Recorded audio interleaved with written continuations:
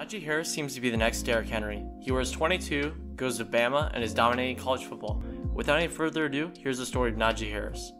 32 yard gain, Najee Harris, touchdown Alabama. Najee Harris was born on, on March 9th, 1998, in Martinez, California. Najee had it rough growing up. I moved from a lot of places to a lot of places. Not in a good area. In fact, the only trip that he could remember was when he went paintballing in 7th grade, 30 minutes away from his hometown in the Bay Area. Many times, Najee was not able to stay at one home at a time. Najee talked about how one time he lived with his dad, sister, and two brothers in a small place named the Soup Kitchen in Richmond, California. He talked about how the food was downstairs and there was ants crawling all over the food and a ton of homeless people. We stayed there for almost like a year, probably, but I stayed in a ton of shelters before. When that didn't work, we stayed at a family member's house. We stayed in a car. He finished that by saying, staying in a house is the best thing. They stayed at place after place and could never find the right fit. During this time, Najee was a little bit of a jerk and had anger problems. One time when he was a kid in Seattle, Najee hit a kid with a pool stick several times after the kid made fun of him. Even during this time, when his family was struggling, he would stay with his mother no matter the situation, and if she was sleeping in a car, he would be with her. As Najee grew up, he matured and now looks at his old self in disgust. During that time when Najee had anger issues, the home atmosphere was not the greatest without his mother. I seen shootings. I seen like gang fights, drugs. And so she kept him busy playing football. Najee dominated as a freshman, and during one JV game, he was sitting on the bench while the team was up 28 to nothing. This was after he had already dominated the game, and his coach had said that he had scored enough. Surprisingly enough, the head coach of the school was there, and Najee was able to go on to the varsity team.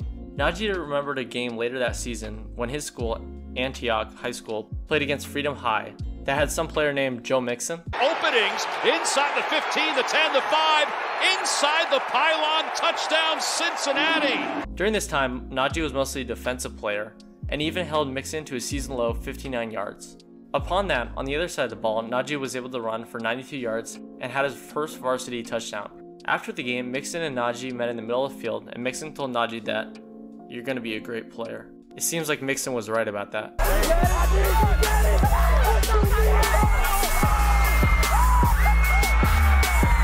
That season, Najee ran for around 150 yards and a touchdown. As you can tell, he didn't get to play too much. But the next season, Najee was able to run free and ran for over 2,200 yards and 23 touchdowns. This garnered a lot of attention from schools all across the country, and following his sophomore season, he had a scholarship offer from nearly every major school in the country. The next few seasons, Najee went off, and during his junior season, he ran for over 2,700 yards and 36 touchdowns and then went on to replicate that success his senior year as he ran for over 2,700 yards and 34 touchdowns. Throughout this time, Najee got offer after offer after offer, and eventually was the number one recruit of his class in 2017. He was even compared to Adrian Peterson by many experts. As you can guess, Najee was a five star and had offers from some of the top schools like Alabama, Ohio State, Michigan, USC, and Notre Dame but found a home in Alabama where he had already committed to in 2015 after him and Saban developed a good relationship. As a freshman at Bama, Najee wasn't able to get much action as he was behind great players in Josh Jacobs and Damien Harris, but was still able to finish the season with over 350 yards on just over 6 yards per carry, along with 3 rushing touchdowns. The next year as a sophomore, Najee was able to gain a much greater workload and ran for over 750 yards and 4 rushing touchdowns. But, but Najee was able to break free and show out his junior season where he was able to start with Damien Harris and Josh Jacobs leaving for the NFL draft. That season, Najee ran for over 1,200 yards and 13 touchdowns. Following this season, there was speculation as to whether or not Najee would stay or declare for the draft, but Najee silenced the talk as he declared that he would stay his senior year, and so far that has looked like a very good decision.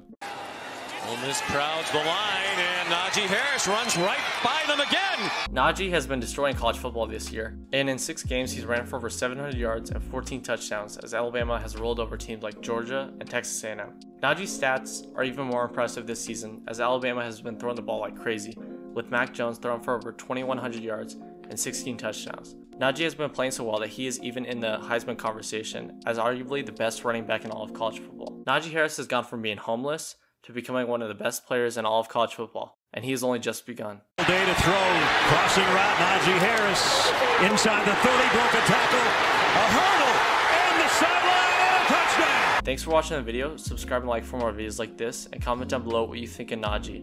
And I'll see you guys in a few days. Peace out.